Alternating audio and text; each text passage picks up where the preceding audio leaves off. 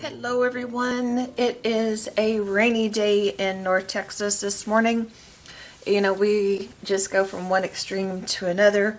We have a week of snowmageddon and then now it seems it, we have rained for days on end. So I'm, I'm ready for spring, although spring does bring a lot of rain, but I'm definitely ready for some warm temperatures. Bring on the 100 degree days.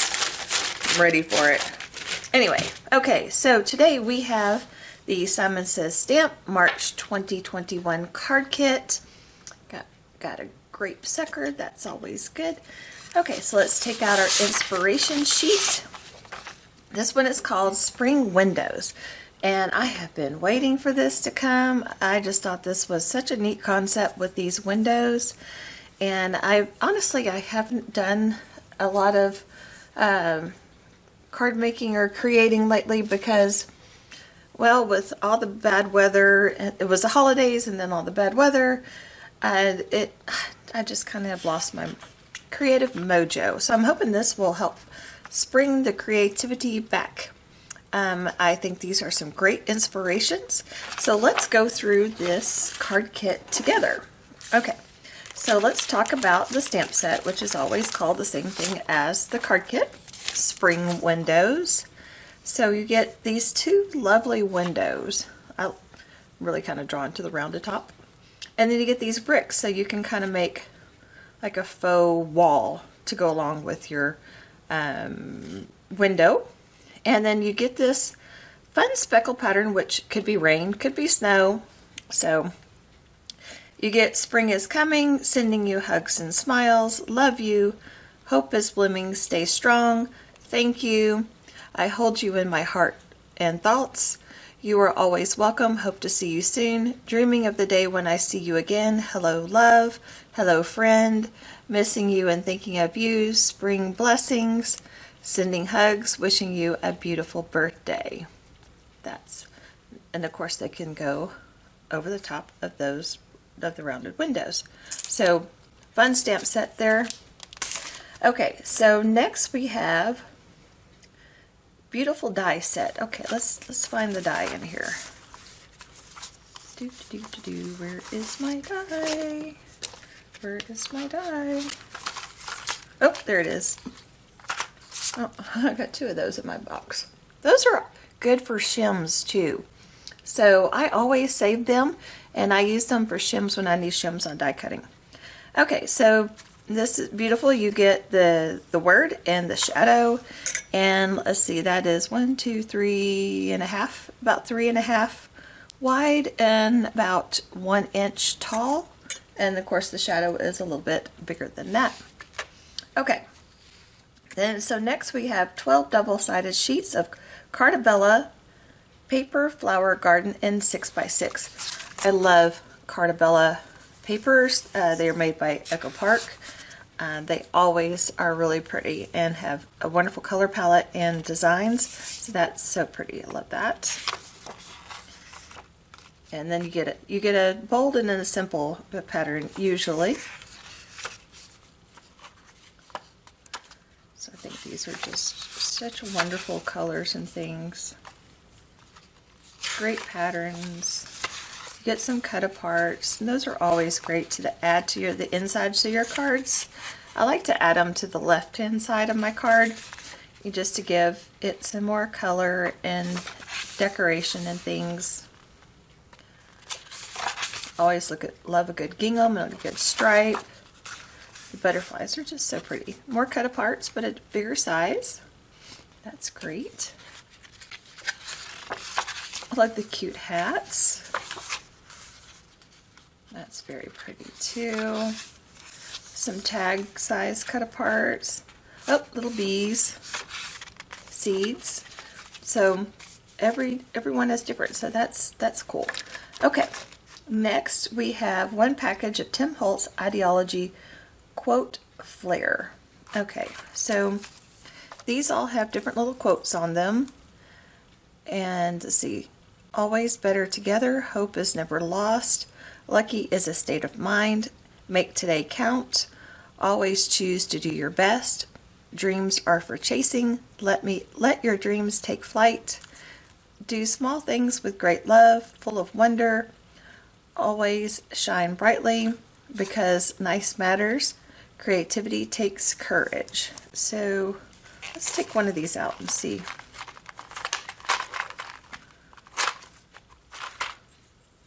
So they're almost like a button. So this would probably not be something that you would put, want to put on a card that you want to mail because that would make it pretty bulky. But you could put it on a card that you're going to uh, hand to some somebody or um, just on if you do mixed media type of projects, uh, home decor projects, you could add these very sweet and lovely uh, little things. And they have um, all sorts. Oh, there's one with a puppy dog on it. I didn't notice it when I was reading it. Okay. Next, we have one sheet of Tim Holtz Idea-ology Sentiments label stickers. So this these are kind of like the old-fashioned where you round it was round and you punched it. It even has that same kind of feel to it. It's it's raised. And so everything is already cut for you, so you just have to peel it and stick it. So that's cool, and you get a bunch of words. Okay, so next we have an assortment of three Tim Holtz Ranger Distress markers. Okay, so um, everybody's kit will be different.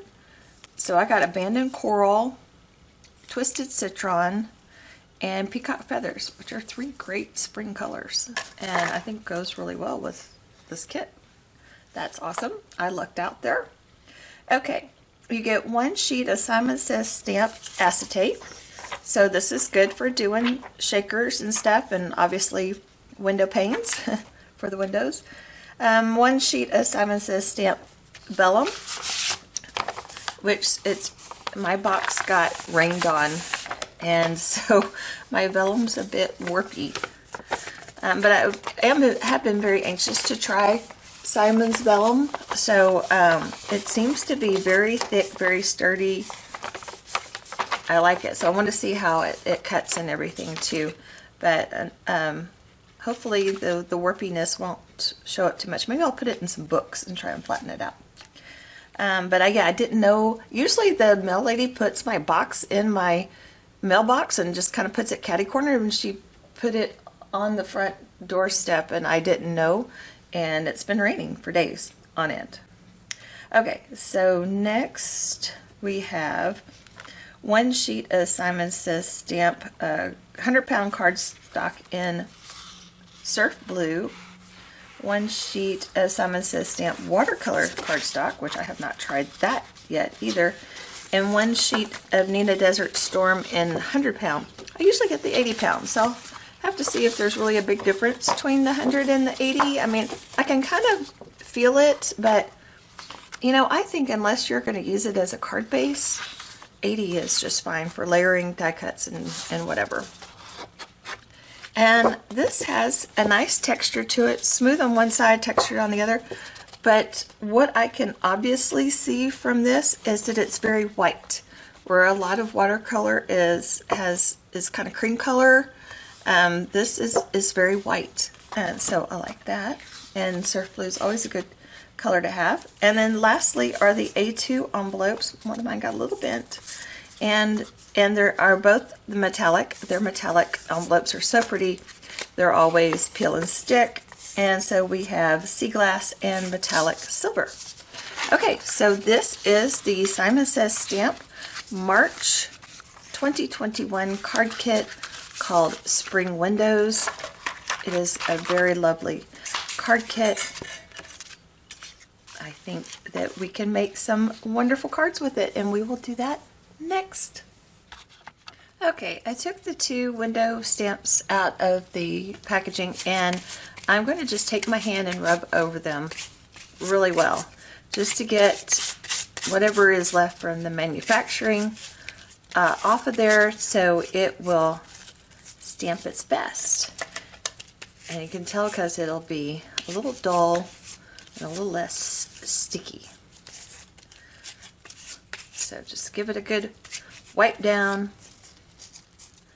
And so, okay, the other thing that I've already done is I cut down the, the um, watercolor paper into just four and a quarter by five and a half panels. So what I want to do is I want to do stamp two in antique linen and see about doing a little bit of maybe some no line type stuff with the distress markers and um, then I also want to stamp with VersaFine, coat it with clear, and also use the distress markers. We can do a little comparison, see which way that we like better. So we're, this is, oh, crushed bag of boom. Um, since this is textured watercolor cardstock, we are going to pull in our MISTI stamping tool so we can stamp multiple times and get a better image. And we will start with stamping our distress inks. And so this one I am going to stamp vertically or portrait. Okay, let's get that in the corner. Okay. And I, th I think I'm going to lower it some because I want to do one of those arched sentiments over the top. And let's see if I did pretty good. Yeah, that lines up pretty good. Okay, I was looking at the lines on my lid versus the lines and the uh, stamp and I think it turns out pretty good. Alright, I'm just going to move that aside. I'm going to take my antique linen. I just kind of like to rub it over and then I like to dab. And I think I get a pretty good ink coverage that way.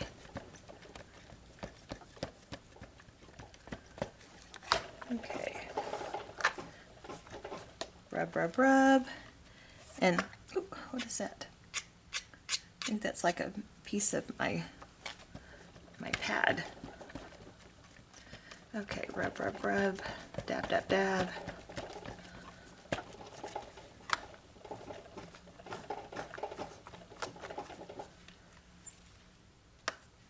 think my pad is falling apart.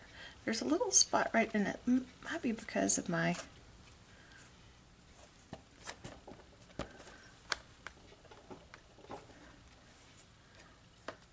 Okay, that's, I think that looks good now. Okay, so now we're going to set that aside. We'll bring in another panel and we are going to ink it up in the VersaFine. Oops, let's first, let's do our magic powder. yes, magnet, magnet, magnet, and metal. All right, rub our magic powder bag over that. in place, ink it up.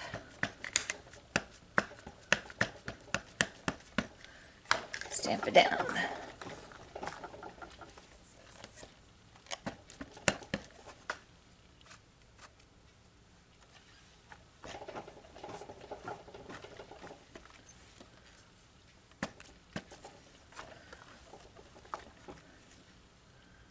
There, we got a good image. Now we'll coat this.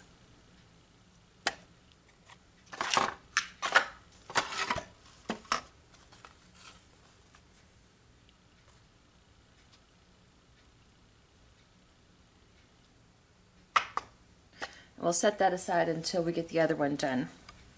And then we will melt them both at the seam. Okay, I've had my heat tool heating up for a few seconds and now I will go in and start melting.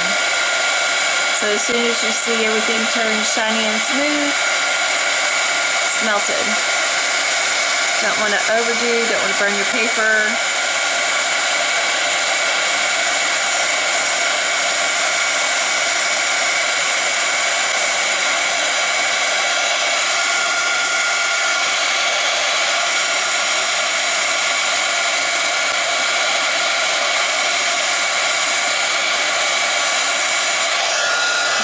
Bit on the back, try and get it to flatten out maybe a little.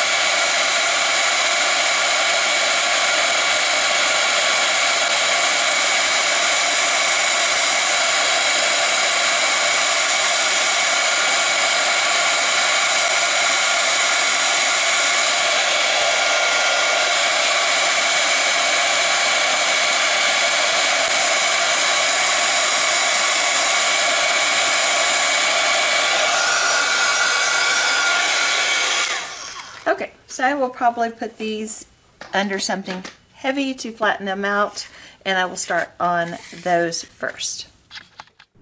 Okay, now it's time for the watercoloring.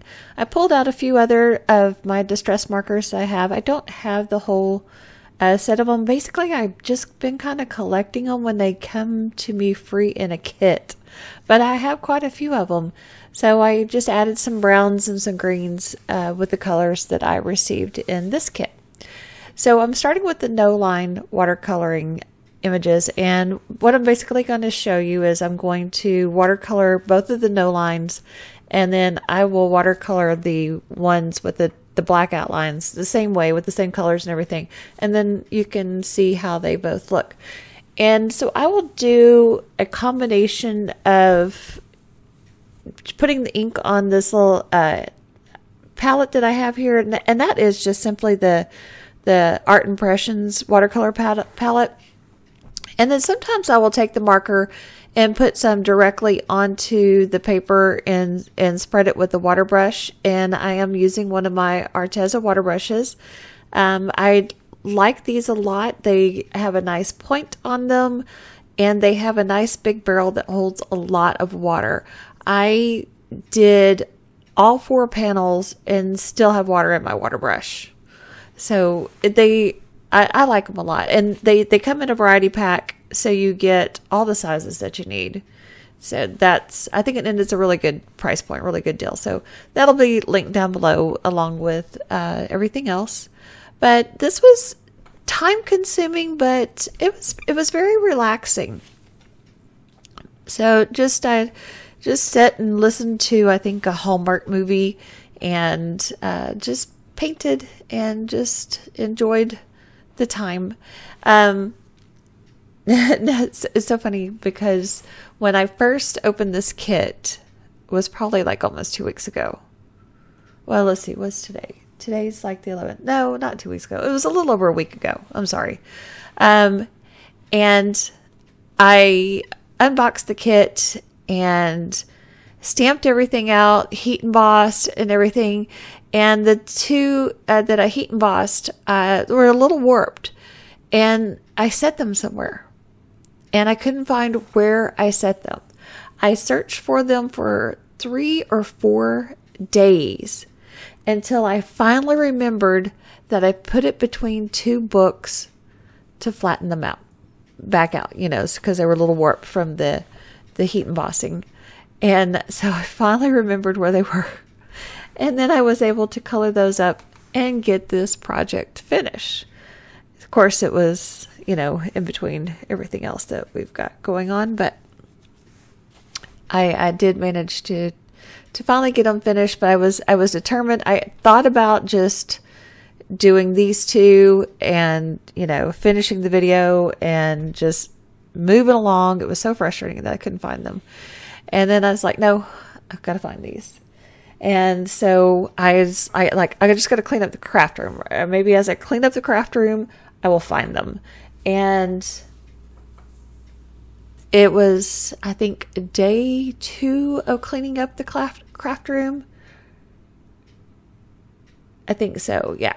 And this was after already, you know, a couple of days of searching, um, but uh, or a day or so of searching, and and then I just turned around and it hit me like, oh, there's where those stupid panels are. They're between those two books that are sitting on my desk. So I felt like an idiot that it took me that long to remember what I had done with them.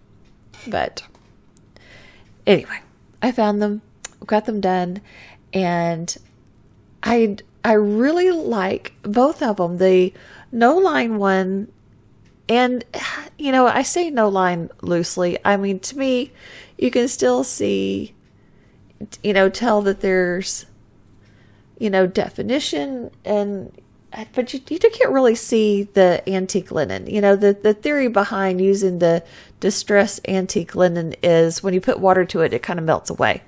Um, but I stamped it a couple of different times so you could see it in the video. If I only stamped it once where I could just barely see it, you would never see it in the video. So I wanted to stamp it where you could see it. So it doesn't like totally uh, disappear but it still gives it a very soft look. And um, I thought it, it just turned out really pretty. And when I added the bricks, um, I just used the color that I was going to paint the bricks and I just rubbed that marker over the stamp and stamped it with that and then colored them in. So that was uh, easy to do. I didn't use the antique linen on those. I just used the color that I was going to paint the bricks in. But uh, like I said, I really kind of like the the soft, kind of ethereal kind of look that uh, this version gives.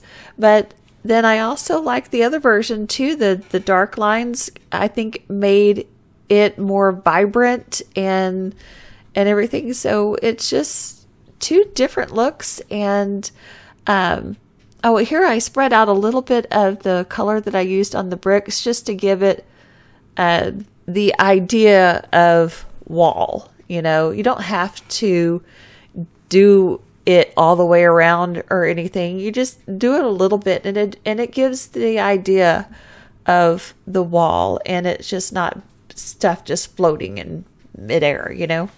Um but anyway, so I think both looks turned out really pretty. You have to let me know down in the comments below which one that you liked and why.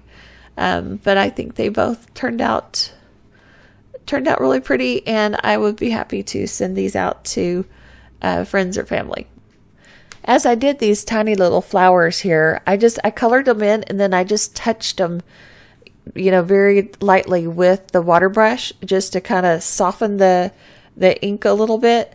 And that is like the easiest way to do these little bitty tiny flowers. And because these pins have, you know, the brush tip and a bullet tip. So that bullet tip you can get into little fine little details and then just barely touch it with the water and you're good to go. Looks like you just hand painted that stuff. I do think I like the colors that I chose on the rounded top windows better than the other ones, but still all turned out very pretty. Okay, so here's the original ones that we did in the basically kind of no line coloring style. And then here are the ones with the black outline. These are still a little wet, so I'm going to give these a little bit more time to dry. And then we're going to stamp some greetings on all of these and get these turned into cards. Okay, so I decided to trim everything down by a quarter of an inch, so an eighth of an inch on all sides, just so I can layer it up. Um, so now we need to stamp our greetings on, so I will use a couple of different of the curved greetings for these. And then here's this one from an from when I trimmed it down. But then I got a phone call while I was trimming this one down and I screwed that up because that's way weird looking now. So I don't know what to do with that. We'll see what we're going to do with that. But for now, let's do some uh, sentiment stamping. I think I'm going to use this wishing you a beautiful birthday and um, sending you hugs and smiles. Think I'm going to use these two. I think those would be cards that I definitely can get some use out of. Okay, we're going to bring back in the MISTI. And I haven't used these, so I'm just going to rub them down just a little bit with my hands just to get that whatever's left from manufacturing off of them so they will stamp better. Position this, and let me zoom back out. Position this down in the corner of the MISTI and get this centered up over here. See how this looks on the grid of our MISTI. See if it's fairly straight across there. Yeah, it is. I think we'll go with that. Um, so let's see. I think we should stick in.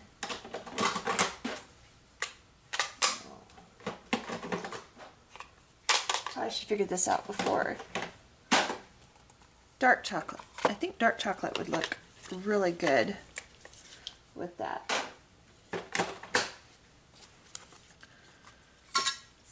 Let's ink this up. And stamp down. Yeah, I think that turned out well. Just grab a baby wipe and clean this off.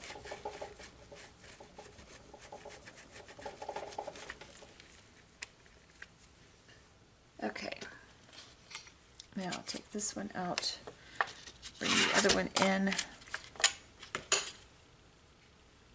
and we'll line this one up. Because this one's a little longer, I'm going to put it up a bit higher to get above that brick. Okay. Mm, didn't do quite as well with this one.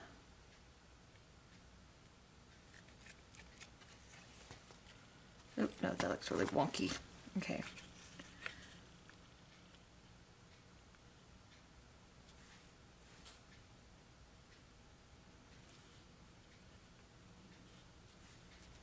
Try this again. That looks pretty good. Alright, again, we'll ink this up in the dark chocolate. Okay, good impression. Clean this off. Boy, that dark chocolate ink stained. Okay. So there's both of those. Okay, now for these, which is it's really not a good place for a sentiment on these. Should I use my beautiful? Maybe that's what I'll do on these. I'll use, I'll die cut this beautiful and put it on the front of the card and then I'll stamp something on the inside. Alright, so we will use our die snips to take these apart and I do this over the trash can when I cut um, it off the final side so that those pieces, or you do it into a dry baby wipe and that way you don't have these little sharp barbs somewhere where you don't want it. Okay, got that done. Let's see if this these will fit in my little die cutter.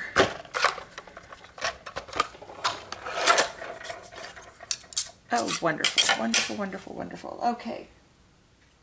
Let me get some cardstock for this. Okay, so we're going to use some of the pattern paper from the uh, pad that came in the kit for the shadow layer, and we're just going to use some Neenah Solar White for the word layer. Keeping it kind of soft and springy.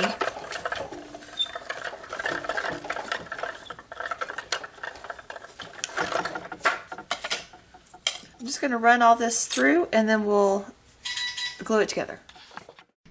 Okay, I did go ahead and glue the beautiful down onto the shadow layer and right now I am just stamping in that antique linen each the insides of each of the cards with the coordinating window that is on on the outside.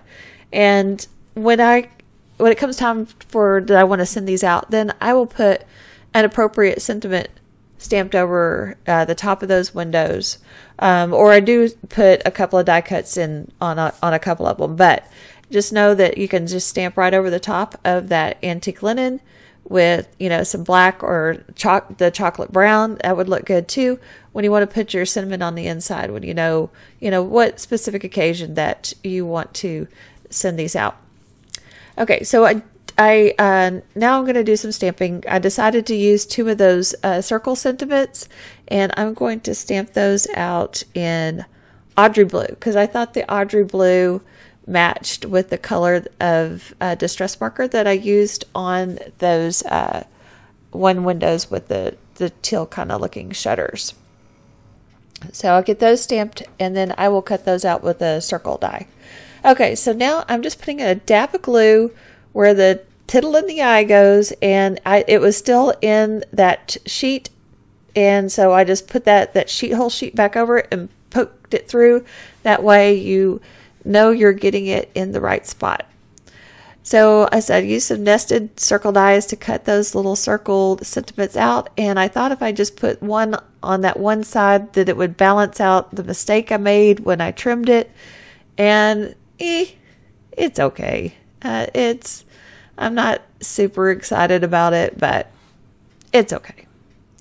Um, and I thought about popping up that beautiful with some foam tape, but honestly, I was just trying to get these done and decided that I was just going to just glue it down and not go through the extra uh, trouble. Anyway, so I'm just going to get these uh, card fronts. I've got them layered up with some matching cardstock and get these glued down to the front of my card bases, which are made out of Neenah 110 pound solar white.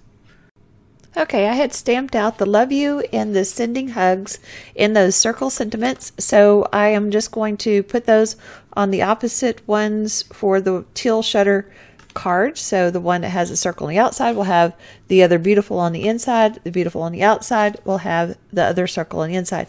And um, I did go over the beautiful on the outside first with my shimmer pin. Here I am doing that now. And then I will go over it uh, very lightly with glossy accents, and that will just make that more of a dimensional piece since I didn't put it up on the foam tape. And so the nozzle on these little bottles uh, just works out really good. You don't need to squeeze a whole lot. And just basically just a little light pressure, and you can get right a stream going to just go over these die cuts real easily. And for the rounded top windows, I brought in the Nuvo Crystal Drops in Soft Mint. And I thought that just matched really well with that uh, green color of Distress ink that I used on the windows. And so I just put some uh, three dots in two corners of it, tapped it on the top of the bottle just to get those dots to relax a little bit and not have the little peaks on it. And so then I decided I wanted to add a little bit of shimmer because I always need a little shimmer. And so I just took my sheer spray and took the nozzle out and just kind of flicked it onto the front of the cards. And then I decided to add the shimmer pin over all the windows on all four cards. So that's going to do it for these cards. Here is a final look at all of the cards and the insides. And I will have uh, the blog post for this linked down below. And as always, I appreciate you stopping by, watching, thumbs, thumbs upping, uh, subscribing, and all that good stuff. I really appreciate it, and we'll see you soon in the next video.